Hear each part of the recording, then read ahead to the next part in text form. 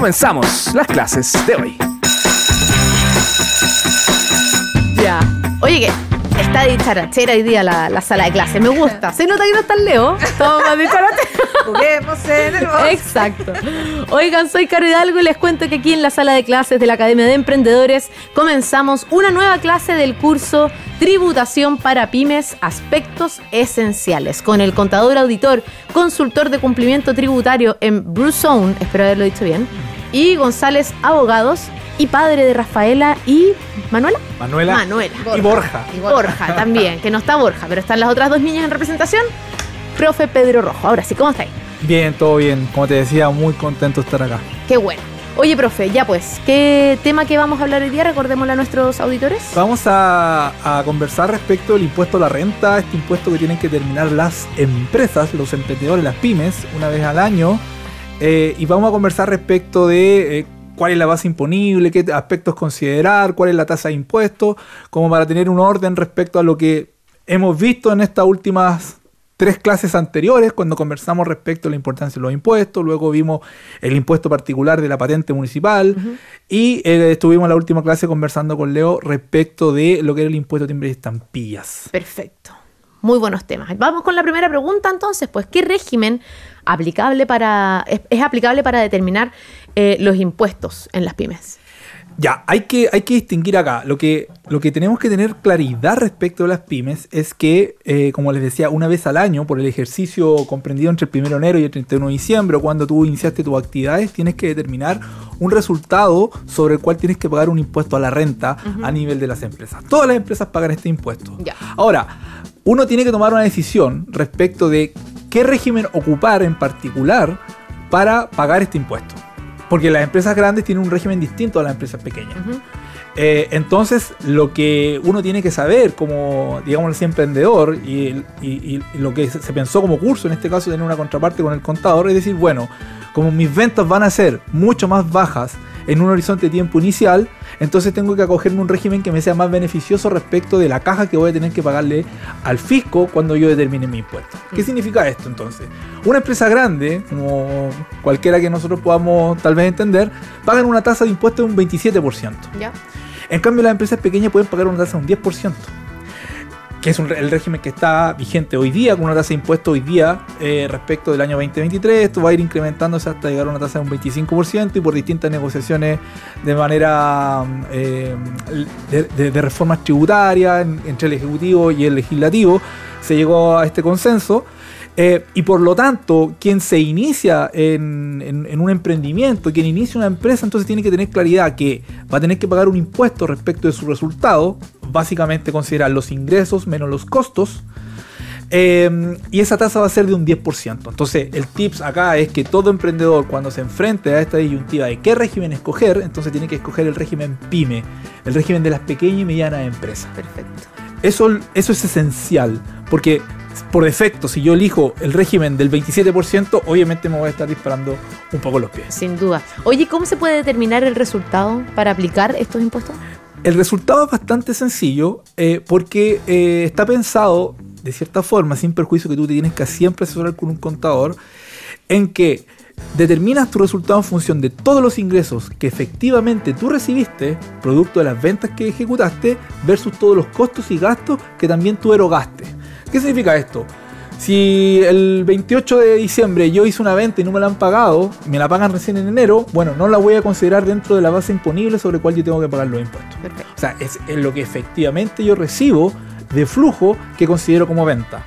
Y a su vez, los costos y los gastos también tienen que ver con esta correlación de decir, bueno, si yo pagué remuneraciones, eh, pagué en definitiva eh, un computador o pagué mercadería, entonces lo voy a descontar también de esta base confrontando ingresos contra costos y gastos.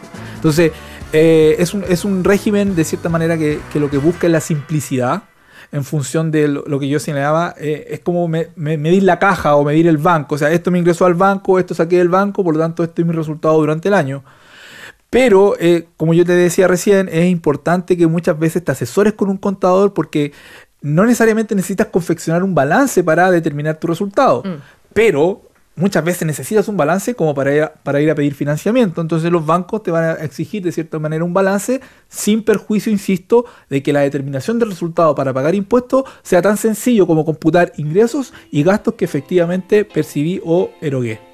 Oye, profe, es un tema igual súper eh, power que podría sonar como bien cabezón para algunos emprendedores o emprendedoras que nos están escuchando y probablemente con tu experiencia, tú como contador auditor, también has visto en emprendimientos, en distintos negocios, ciertos dolores en este ámbito. ¿Cuáles vendrían siendo esos dolores? No entender ciertos puntos, no manejar bien las lucas. O sea, yo creo que básicamente dejar esto como para abril. o marzo. Es el principal. El principal dolor. Todos se acuerdan que hay que pagar impuestos, etcétera, etcétera. Entonces, de verdad, a última hora, eh, viendo en definitiva qué, qué, va a ocurrir. Y hace poco eh, alguien me escribía y me, me, decía, oye, mira, tengo un tremendo resultado porque una empresa X me pidió que le facturara ahora en diciembre. Eh, y yo le digo, ¿te pagaron? Entonces me dice, no, no me han pagado. Bueno, entonces no te preocupes porque no vas a tener que chutar por eso. Entonces, lo esencial es entender que los emprendedores quienes optan por este régimen, su resultado está en función de lo que realmente reciben y lo que pagan. Entonces, si, como este caso que yo te planteaba recién, eh, le pidieron facturar eh, anticipadamente un servicio que no le han pagado durante el año 2023, bueno, no lo tiene que computar dentro eh, de sus ingresos. Profe, yo tengo una pregunta, porque a mí si hay algo que me cargan son los impuestos, enredados, complicados, como que... Sí, así, así lo escucho yo. ¿Qué pasa entonces si yo tengo todo listo? Yo ya puedo empezar a trabajar en ese, porque ese es el formulario el 22, Dos. porque el 29 es el que pagamos todos los meses antes del 11, ¿está bien? Exacto, Lo muy detesto. bien, muy bien. Pero que escuché tu clase, profe. Ah. Pero ahí cómo empezamos entonces, ¿qué hacemos?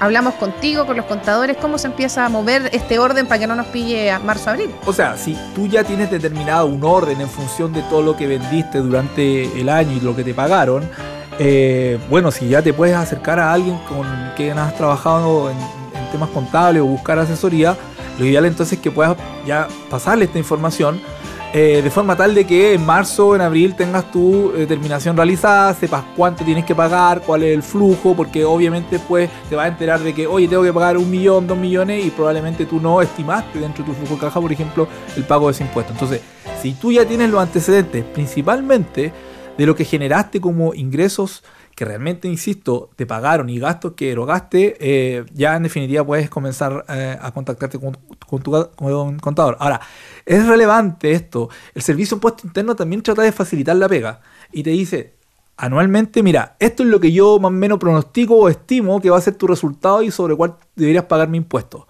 Porque tiene la información de tus ventas y tiene la información de tus compras, por decirlo de algún modo. Tiene la información de quienes te emitieron boletas de honorario. Y si tú pagaste eh, remuneraciones, tienes que informar en marzo esa, información. Entonces, sin perjuicio que el Servicio Impuesto Interno tiene una estimación, bueno, siempre, insisto, es bueno eh, asesorarse con alguien porque hay algunas cosas que quedan allí que uno podría tal vez ajustar.